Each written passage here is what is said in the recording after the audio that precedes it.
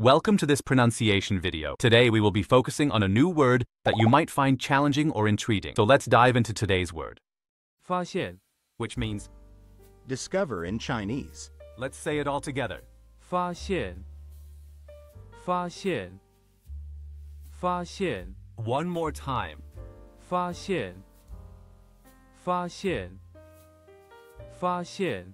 Thank you for joining us on this adventure in pronunciation. Remember, language is a journey, not a destination. Keep exploring, experimenting, and expanding your linguistic horizons. We'll see you next time.